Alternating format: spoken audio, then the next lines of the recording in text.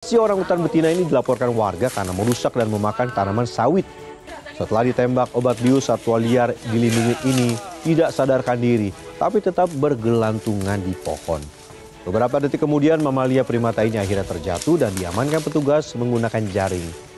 Evakuasi orang hutan liar hari Minggu 24 September lalu ini dikonfirmasi pada Rabu. Petugas BKSDA menyatakan orang hutan berusia 11 tahun itu telah dilepas liarkan ke habitat aslinya di Suaka Marga Satwa, Lamandau.